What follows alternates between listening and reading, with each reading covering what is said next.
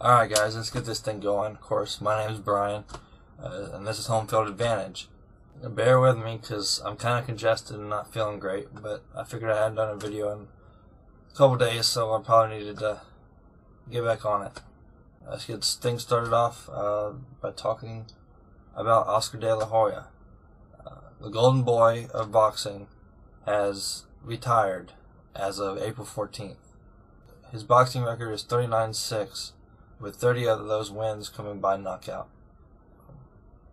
He competed in multiple levels of boxing. For those of you probably don't know, he also won the only gold medal that the United States has ever won in boxing at the Olympics uh, in Barcelona in 1992. Honestly, I'm not really a big boxing fan, but what this guy did for the sport is amazing sad day to see him go. I grew up watching him, and the sport will miss him. And news of the NBA draft, uh, Hasheem Thabeet, the center from UConn, has declared for the NBA draft. That are in the bottom of the NBA that will have a good chance at the lottery: Sacramento, the Clippers, Oklahoma City, uh, New York, at you know, Washington, as uh, just a few. If we go by the worst record, it's of course Sacramento. And the question is, is Blake Griffin still going to go at number one when you've got a player like Hasheem Thabeet, who's seven foot three? Does Blake Griffin still hold that number one overall pick uh, when that time comes? And honestly, in my opinion, I think great teams are built around a player like Thabeet.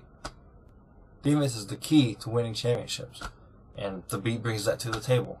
But you know, we'll, we'll see. We'll see when when the NBA draft comes around what what goes down. Another story involving NCAA basketball and the NFL draft. Um, the Packers are actually looking at the point guard from Duke. And yes, I said that right. The point guard, as in basketball um, Greg Paulus, he had tons and tons of scholarship offers for football because he was a star quarterback at his school. The Packers' thinking is if he was great once, perhaps he, he still has that capability to be great. So it's just an inter- I just thought it was an interesting thing to think about. As a Duke fan, when he first signed I, I did a little research on him, and he was getting scholarship offers for basketball and football.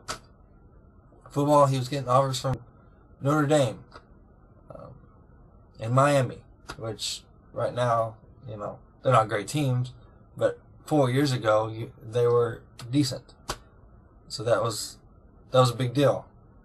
But he chose ba- chose to be a basketball player, but he didn't really fan well in the college game.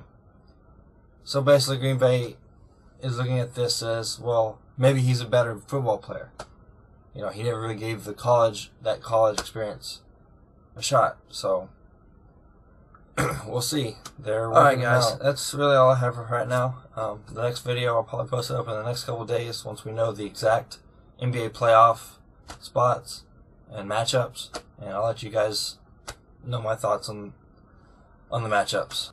So I guess just let me know what do you guys think about everything we talked about today? About Hasheem Thabeet, you know, whether he should be the number one overall draft or Blake Griffin should. Um, what do you think about Greg Paulus being an NFL quarterback? And what are your thoughts on Oscar De La Hoya retiring? You think it's good for the sport, bad for the sport?